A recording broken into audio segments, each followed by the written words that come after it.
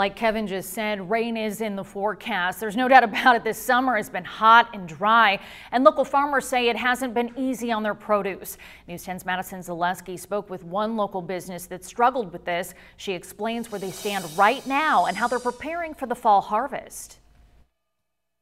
With this hot and dry summer, some crops did not get a fair shake, but local businesses like Ditzler Orchard are now getting back on their feet, ready for the fall season.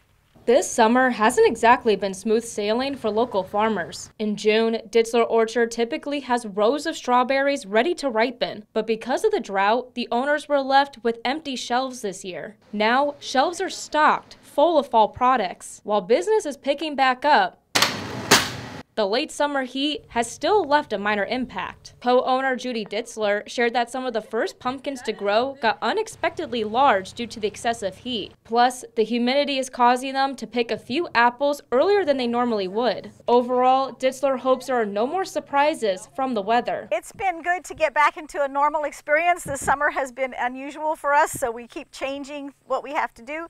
But this fall looks like it's going to be pretty typical and we'll be settled into a nice fall routine here pretty pretty soon. Coming up at 6, I'll tell you how some local folks are excited to start shopping for the fall season.